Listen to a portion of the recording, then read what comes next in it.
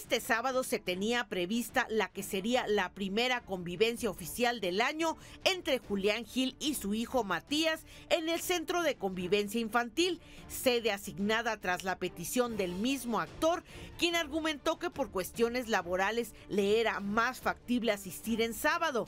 Y aunque Matías arribó puntual a la cita acompañado por su enfermera y la abogada de Marjorie de Sousa, Alma Pellón, el puertorriqueño no apareció, ya que horas antes había viajado para otorgar una firma de autógrafos previa a las fiestas de la calle 8 en Miami. Matías permaneció poco más de 15 minutos dentro del centro de convivencia mientras la abogada Pellón explicaba la situación. El, el- el señor Julián solicitó el cambio de, de, de- de día porque no podía por, sus, por cuestiones laborales y porque por eso había faltado.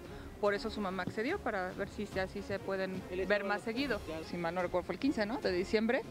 Ellos mismos tramitaron el cambio de sede, presentaron el oficio. Nosotros presentamos un, un escrito donde decía que la señora Marjorie de Sousa estaba de acuerdo con los sábados, toda vez que si era la manera en que podían convivir de acuerdo a las necesidades de Mati, con sus necesidades médicas y con sus necesidades alimenticias y demás, que si era la manera en que pudiera convivir más con el papá, que estaba completamente de acuerdo. Fue un escrito que presentamos esta semana. Siempre son 15 minutos los que tiene que esperar cualquier menor que viene a la visita. En caso de que no se presente el padre que lo viene a visitar, ya con eso se puede retirar. A nosotros no nos queda otra más que cumplir con lo que dicta el juez, nosotros siempre vamos a cumplir. Como les he dicho, cuando nos, él solito fijó una pensión, después cuando fija otra pensión, cuando fija las, las visitas, nosotros cumplir.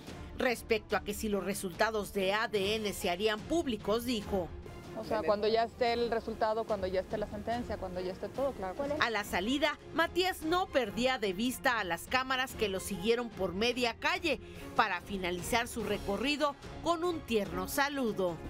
Está mejor, lo vieron, es un niño muy lindo, es un niño, los adora a ustedes, los han visto. los han visto. Sí, los adora, yo creo que ese sí va directo al estrellato el niño. ¿eh? ¿Quieren estar al tanto de todas las exclusivas del medio del espectáculo? ¿Busca tener la información de los famosos de primera mano? Pues suscríbase a nuestro canal de YouTube. Solo tienes que darle clic aquí.